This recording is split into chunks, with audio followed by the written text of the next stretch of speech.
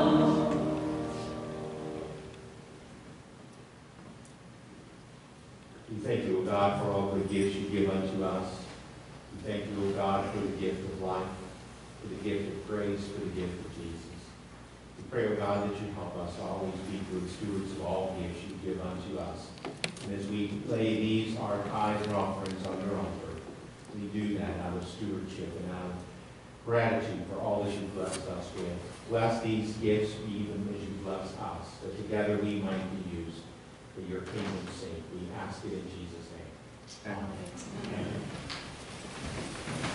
The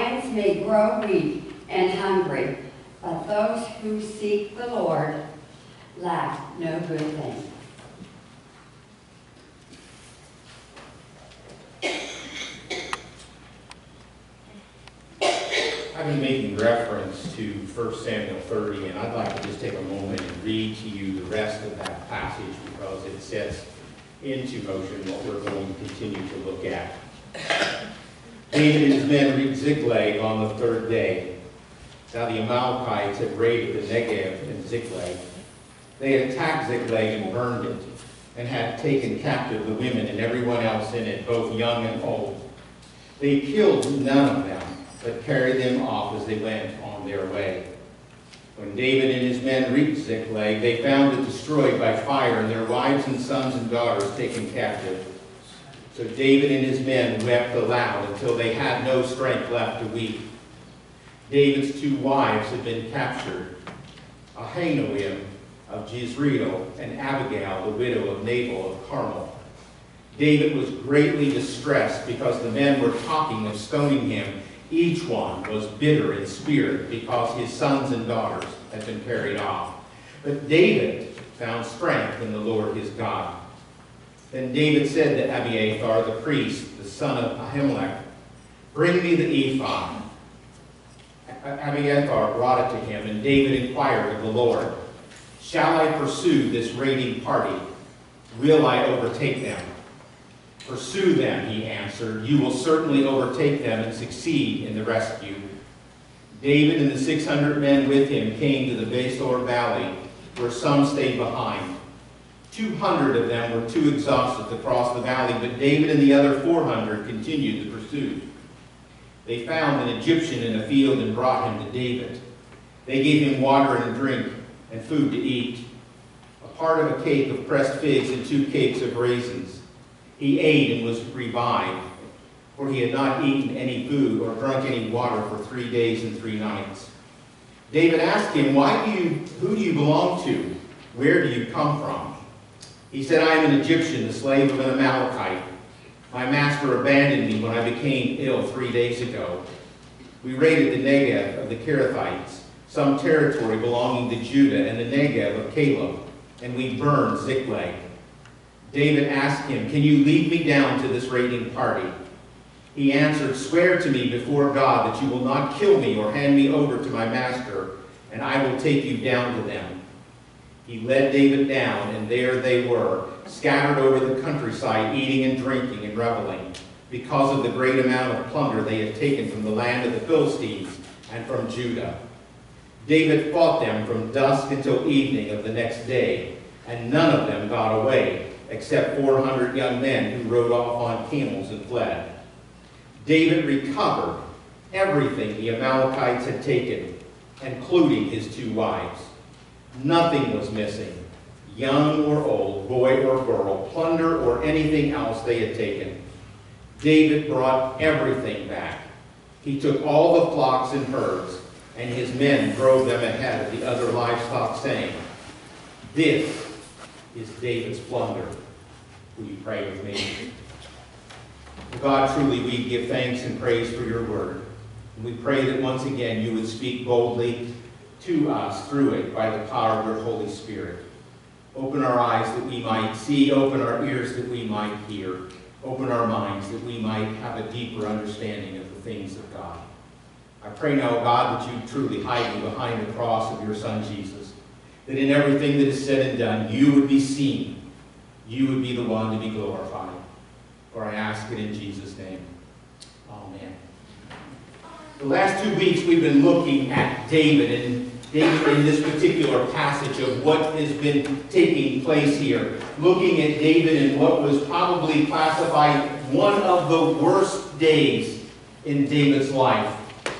He had gone off into battle. When he comes back, he finds that Ziklag, his temporary home anyway, had been completely sacked. It had been burned to the ground.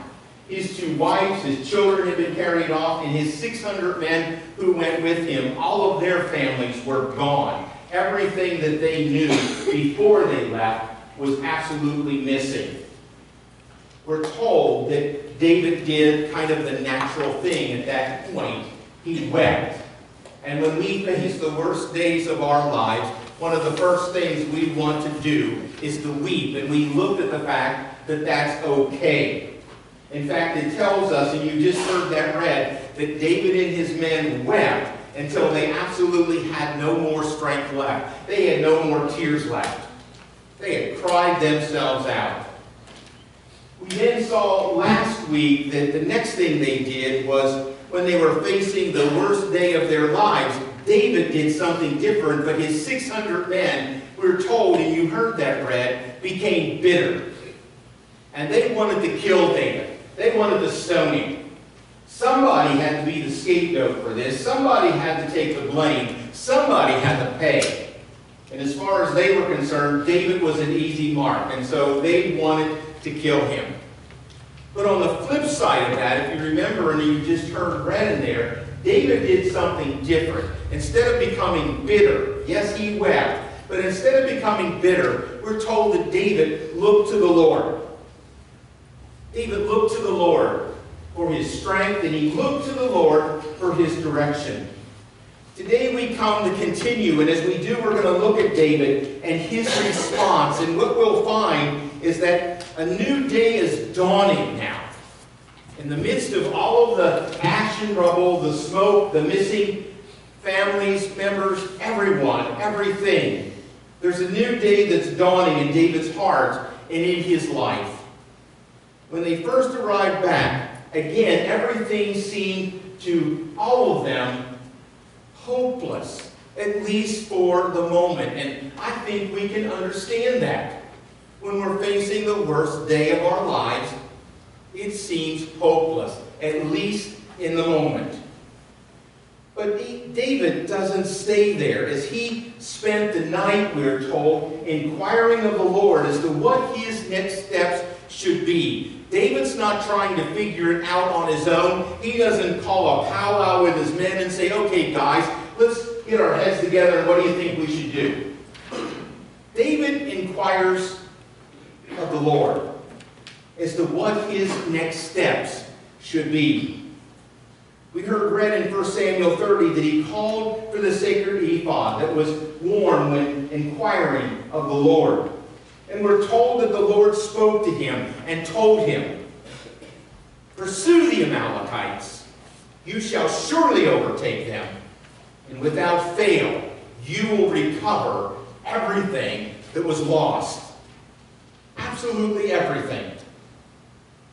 We learn here that David, the next thing that he did when he faced the worst day of his life is that he went to the Lord and he allowed the Lord to be the one to reorient, if you will, his vision. Again, he didn't go to his men, he didn't go to other sources, he went to the Lord. Lord, what should I do? Show me the way. And we're told that the Lord reoriented his vision, if you will. David trusted God and God alone, and that's where he turned. And as he moves forward, we're told, and we heard that read, that he overcame the Amalekites and he restored everything, absolutely everything that was lost. The important thing for us to note here is that David turned his focus to the Lord.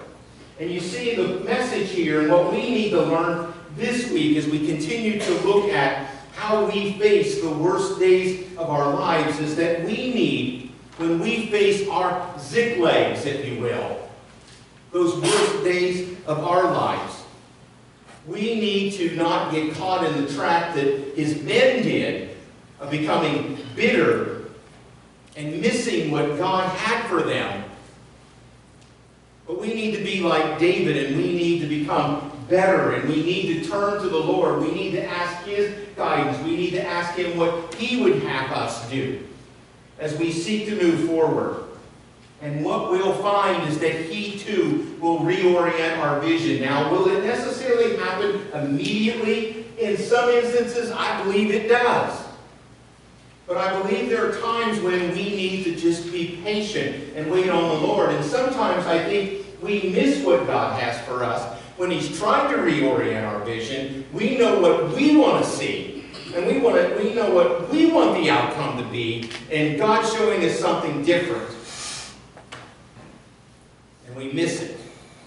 It's been pointed out that as David's men gathered around him and watched him take off the linen ephod that he had put on, he was seeking the Lord's direction. They observed something different about David. They could see that he was looking at something that they could not see. It's been said that David had the eye of the eagle. Now the eagle builds its nest high atop the mountaintop and sometimes on a, on a rocky jag, if you will. It's from there that they can spy out their prey. The eagle has eyes that have the ability to observe from afar. The question becomes, do we have the eye of the eagle? Can we see from afar? Can we see into the distant horizon and behold the glorious things that God has prepared for us? Or are we too busy looking right here that we miss it? Because we want it right here in front of us. When God says it's out there. You just have to be looking. What we find is that David trusted God and he looked to God. God gave him direction for his next steps. Gave him direction after facing one of the worst days of his lives.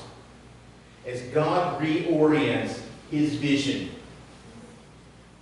And he gives David a new passion for life. And he prepares David to go and to pursue the Amalekites that had sacked Ziklag prepares David to become victorious and to recover everything that he has lost, as God told him it would happen. An important lesson that I believe that can be learned here is that our perspective, our perspective drives our passion or lack of it. Please hear that. Our perspective, our perspective drives. It drives our passion or lack of it.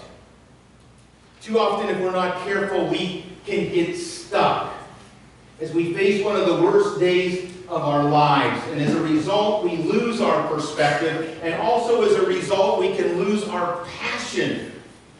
Our passion to move on. Our passion to move into the new day. Passion to go on, to move from being stuck in that worst day scenario into God's new day that He's calling us. We can become more like David's men who looked downward and could only see what was going on in the very immediate.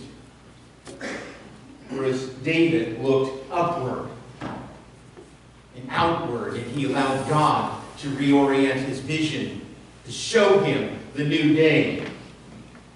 Brian Zahnd writes in his book, What to Do on the Worst Day of Your Life, these words To recover from the worst day of your life, you must, you must reorient your vision.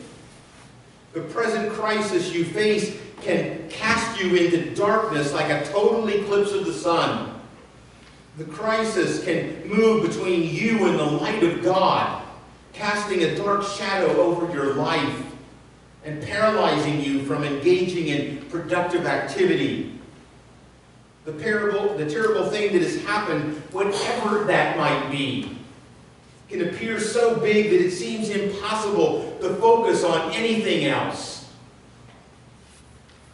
The crisis becomes the only thing you can see.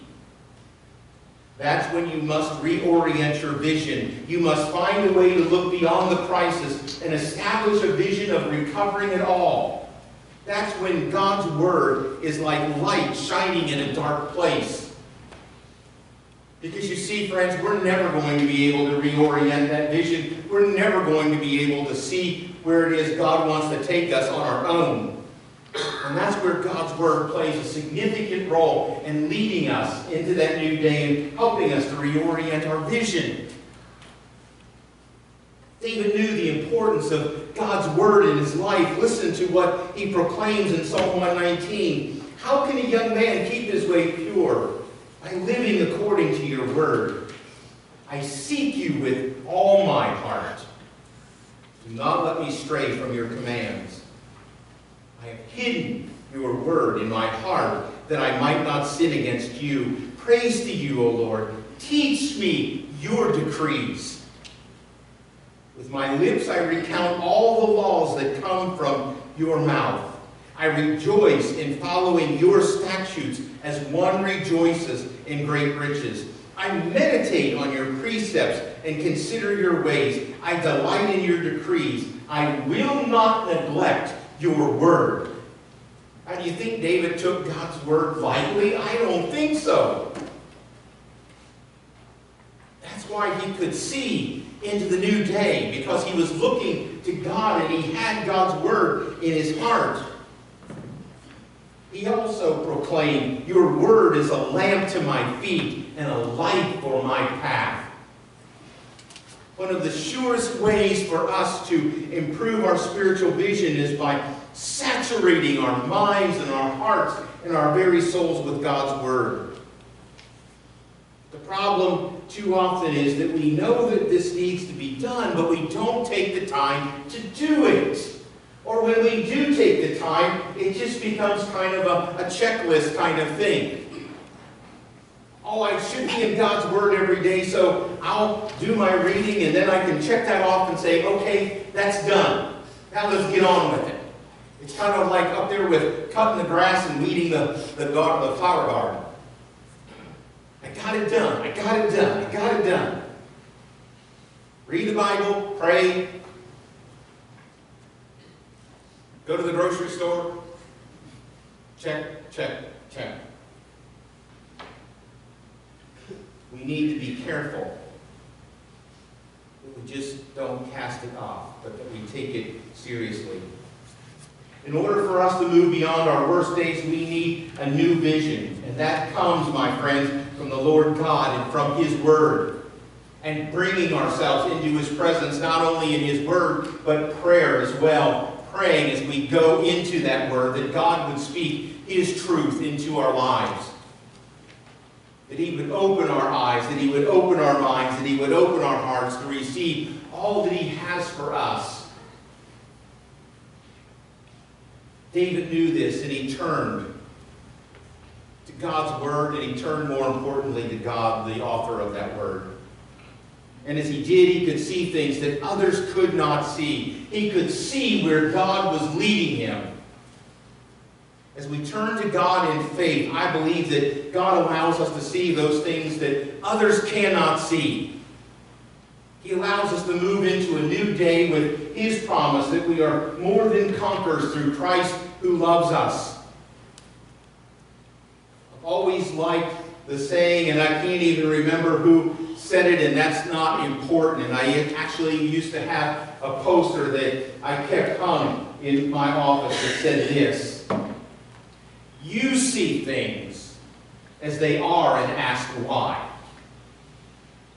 I see things as they could be and ask why not.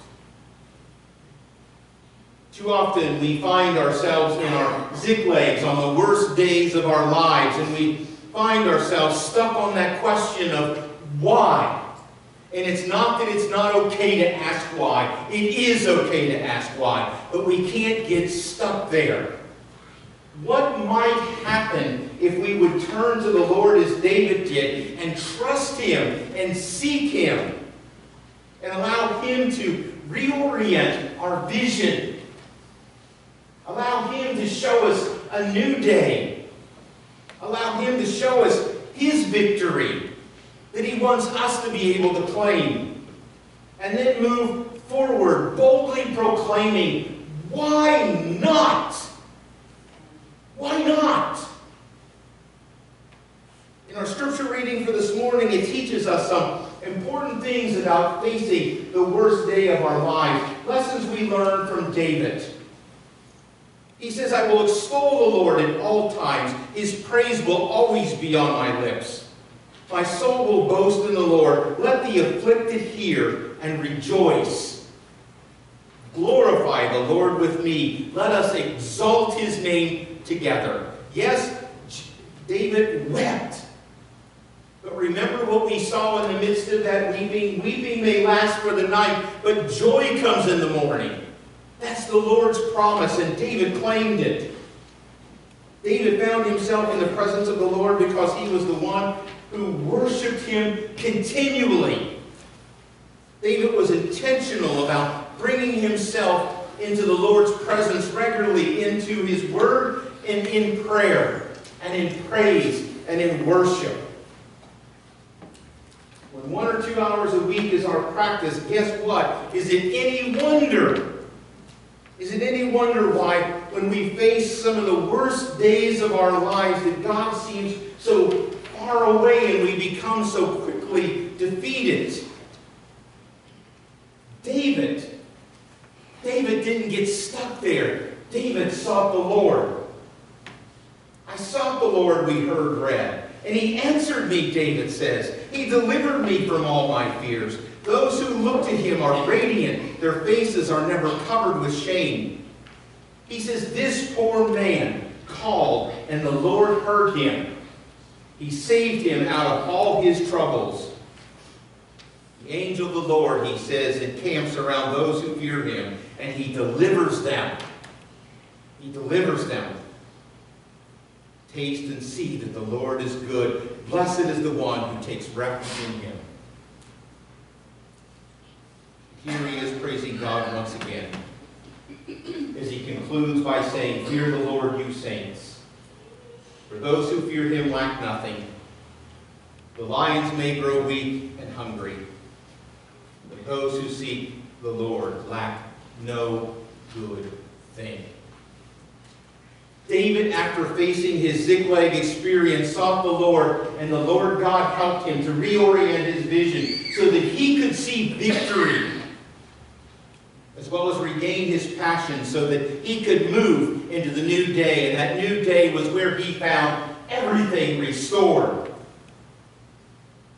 When you've been through one of the worst days of your life, you need to reorient your vision, not looking to your own resources or the resources of maybe others, and not that they can't at times be helpful, but too often we rely on the wrong resources, and instead of looking to the Lord for his resources, we look to anyone and everything, and we miss what God has for us.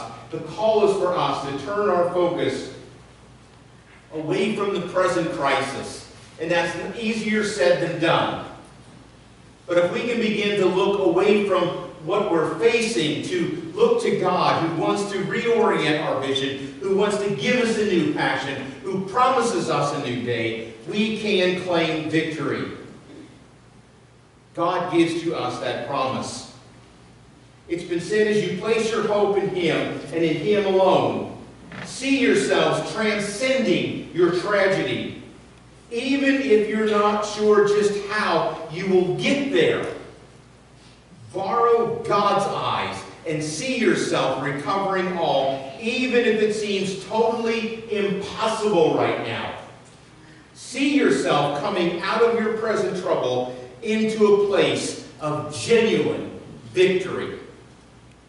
It's coming to that place where, in essence, friends, we borrow God's eyes. And I want to share with you this morning a piece. There's an author by the name of Michael Quoist who wrote a, a book of prayers, and he writes them kind of in, in poetry style. But this is a, a prayer that I go to often. And it speaks exactly to what we're looking at this morning. And this particular one is entitled, I Would Like to Rise Very High. And it goes like this. I would like to rise very high, Lord, above my city, above the world, above time. I would like to purify my glance, and I would like to borrow your eyes. I would then see the universe, humanity, history as the Father sees them. I would see in the prodigious transformation of matter, in the perpetual seething of life, your great body that is born out of the breath of the Spirit. I would see the beautiful, the eternal thought of your Father's love taking form step by step. Everything summed up in you, things on earth and things in heaven. And I would see that today, like yesterday, the most minute details are part of it. Every man, woman, and child in his or her place. Every group and every object. I would see a factory, a theater, a collective bargaining session, and the construction of a fountain. I would see a crowd of youngsters going to a dance, a baby being born, an old man dying. I would see that the tiniest particle of matter and the smallest throbbing of life, love and hate, sin and grace, startled. I would understand that the great adventure of love, which started at the beginning of the world, is unfolding before me. The divine story, which according to your promise will be completed only in glory after the resurrection of the flesh. When you will come before the Father saying, All is accomplished. I am the Alpha and the Omega, the beginning and the end.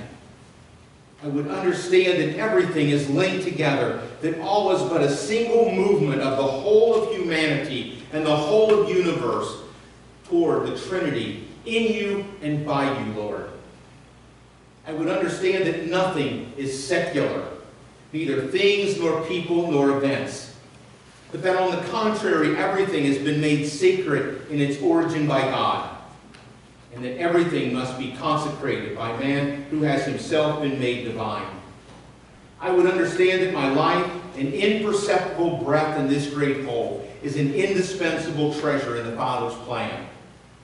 Then falling on my knees, I would admire, Lord, the mystery of this world, which in spite of all the innumerable and hateful snags of sin, is a long throb of love towards love eternal. I would like to rise very high, Lord, above my city, above the world, above time. I would like to purify my glance and borrow your eyes. Borrow your eyes. Our friends, when we face the worst day of our lives, whether we are facing one right now or somewhere down the road, if we can come to that place where we, like David did, borrow God's eyes and allow Him to reorient our vision, we can see our way past the situation that we find ourselves in. And we can move to the promise of a new day and the promise of victory. And we can move into that new day with hope. So when we face the worst days of our lives, yes, we will weep. We need to be careful that we don't become bitter, but rather we become better as we turn to God. We need to allow Him to be the one to reorient our vision, that we might regain our passion to move forward into that new day. This morning we come to celebrate Holy Communion, and as we do, it's a reminder of that new day into which God calls us. It's a reminder how God, through Christ, redeems us and makes us whole again. He takes us from our sinful state and extends grace in a way that we can be made new and we can find ourselves in that new day. And we can find ourselves in the midst of that hope. As we come to the Lord's table this day, I pray that it becomes for us a celebration anew of the wonder of God's love and God's grace, and a celebration of the new day that He calls us into, not only individually, but together as the body Christ. Will you pray with me?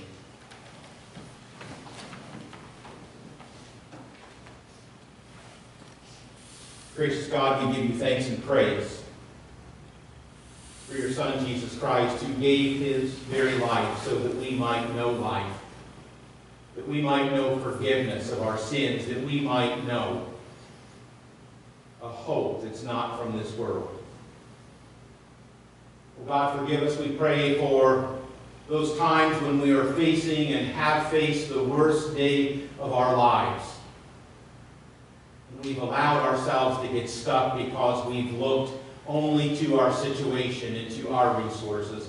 Help us, we pray, to be a people that when we find ourselves there, even if we find ourselves there now, that look to you and to you alone, trusting in your resources, trusting in your word, trusting more importantly in your presence in our lives. That we might have our vision reoriented, that we might regain a passion knowing that this is not the end, and knowing that you are walking with us through that time, calling us into a new day, a new day of joy, new day of hope, a new day of peace. We thank you for this blessed sacrament that calls us to remember all that Christ did for us. And we pray, O oh God, that your blessing would be on these elements, that as we partake of them, it might truly be not only a reminder, but a celebration of who you are and what you've done. Bless these elements now, O God, and we who come to partake of them. We ask these things in Jesus' name. Amen. Friends, this is an open communion this morning. It's open to any and all who would receive anew the wonder of God's love and God's grace. We're going to be receiving communion in the pews. I'm going to ask the communion stewards to come forward to prepare to wait on us. And as we distribute the elements, would ask that you would hold them until we can all partake of them together.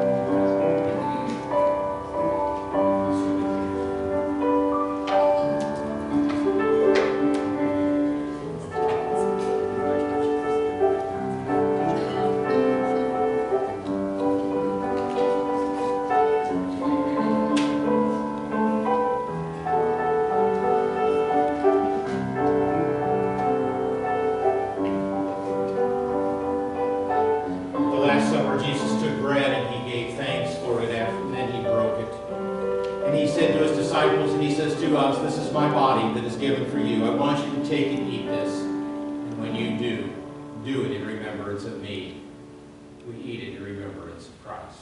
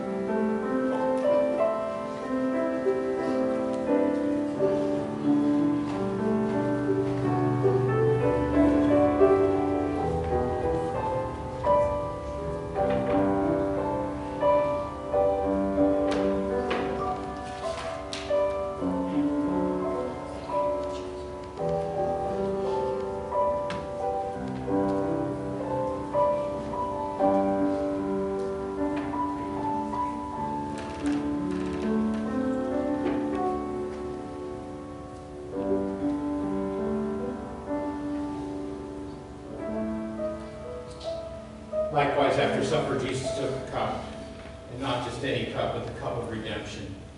And he gave thanks for it, and he said, This is my blood. It's the blood of the new covenant. It is shed for you and for many for the forgiveness of sins. Take and drink this, and as often as you do, do it in remembrance of me. We drink the cup in remembrance of Christ.